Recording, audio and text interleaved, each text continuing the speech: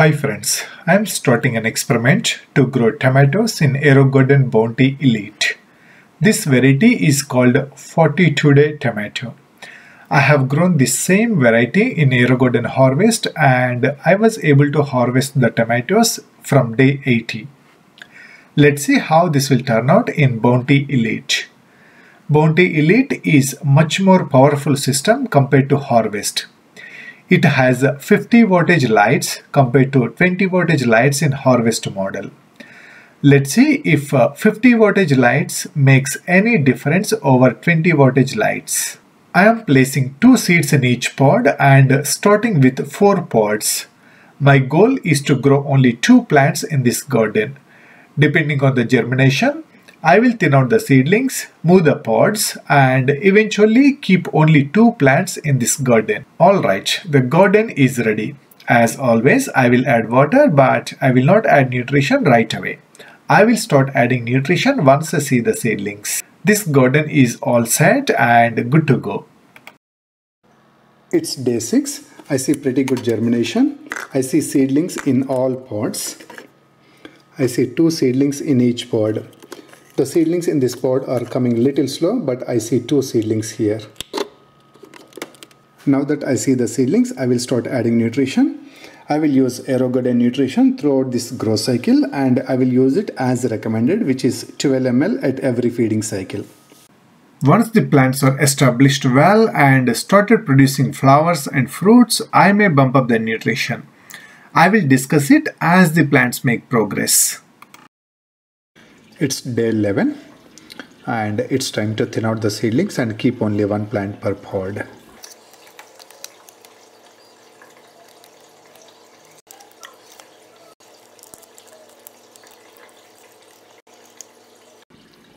If you wonder about the tin foil I added here, I just want to block the light as much as possible. So I cover the holes with this tin foil.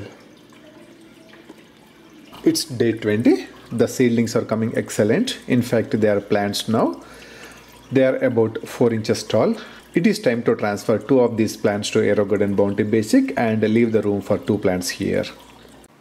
Alright, I moved two plants to another AeroGarden. Now the entire Bounty Elite is dedicated to two plants.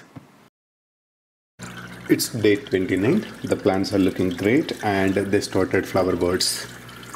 This is really awesome and I see the flower buds on both plants. It's day 42. The plants are looking great and I see bunch of tomatoes.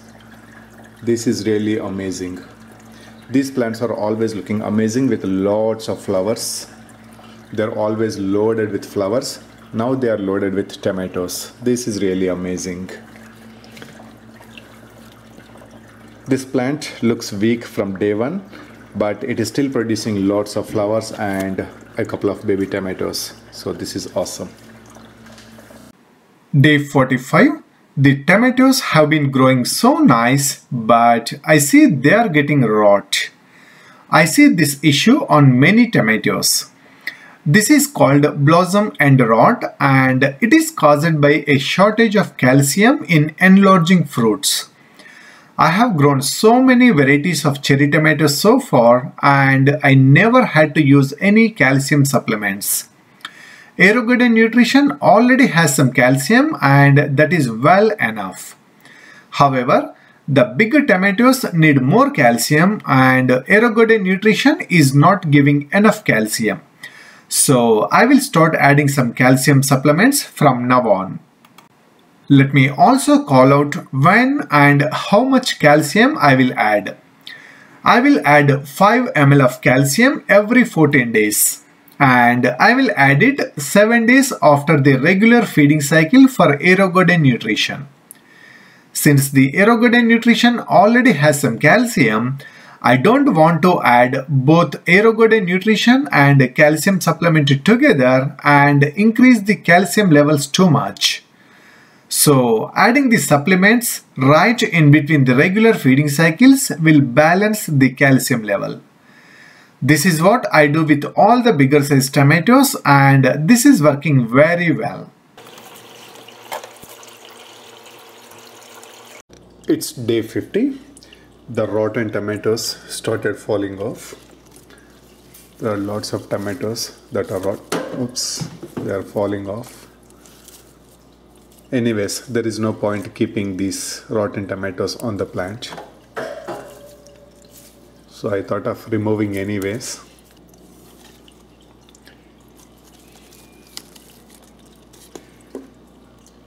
But all the new tomatoes are doing fine. So adding CalMag seems to be helping Alright, I removed all the rotten tomatoes. This experiment has been growing excellent so far, but everything turned south within a week. I should have monitored these tomatoes closely and I should have acted fast.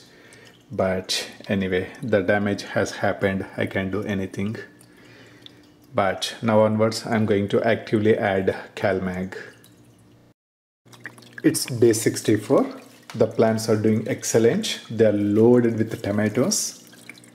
Look at all these tomatoes. They are pretty big much bigger than the cherry tomatoes. Just for the comparison i have uh, cherry tomatoes right next to this 42 day tomato.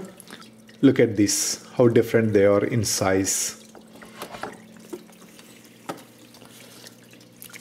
They are double the size of cherry tomato in fact, some of them are probably three times bigger than the standard cherry tomato. This is really good. And I see a few tomatoes started ripening. That is another good news. Day 71. A couple of tomatoes have ripened very well and they started falling off. These are the healthy tomatoes. No rotting issue on these tomatoes. This one has a little bit of rotting issue but that is on the extreme edge so I can consume this and I see lots of tomatoes started ripening on both plants. This is nice. One huge problem I am noticing with this variety of tomatoes is the powdery mildew. Lots of leaves are getting infected with powdery mildew and it is terribly bad.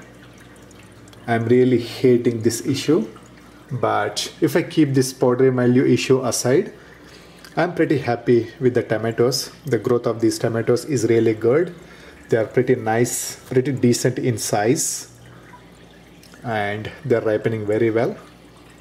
Look at the size of these tomatoes. They are three to four times bigger than cherry tomatoes. This is really nice. Size of the tomatoes is one of the reasons I want to choose this variety over cherry tomatoes.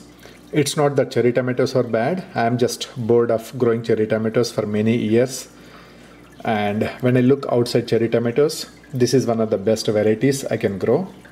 The plants are not that tall. Most part of these plants is under the lights and they're growing very well producing lots of tomatoes and they're ripening pretty fast too.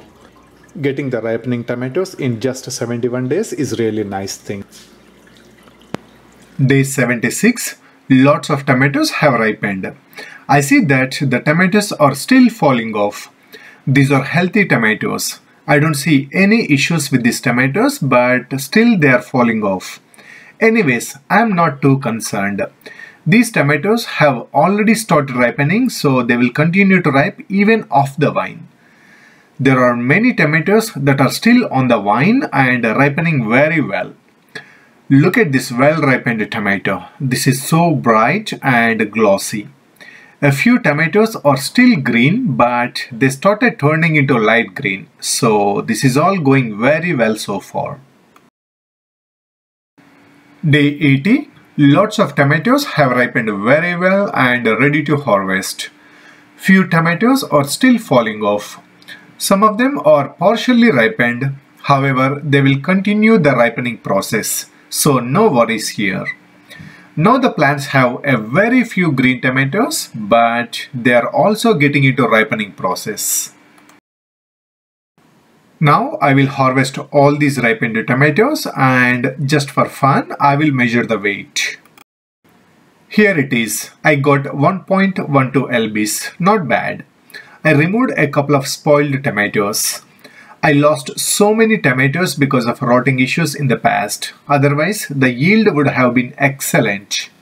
By the way, just for some size comparison, I'm keeping 42 day tomatoes next to my Tiny Tim cherry tomatoes. Look at the size difference. How big this 42 day tomato is compared to cherry tomato. These are really nice in size. It's day 87. All the tomatoes have ripened now. I'm going to harvest all these tomatoes and trim the branches. Most of these branches doesn't have any growth. So I'm going to trim all these branches.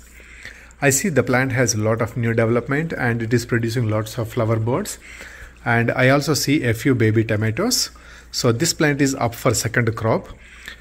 Harvesting all these tomatoes as quickly as possible will help the plant show more development and show more flower buds. I think this journey is going to be continued for a few more months as I am seeing a lot of flower buds and the plant is setting up for second crop. I'm sure this is going to go a couple of months. So I'm going to pause this video here and make a follow-up video whenever I have more progress on these plants. That is all for now. Thanks for watching and happy aero gardening.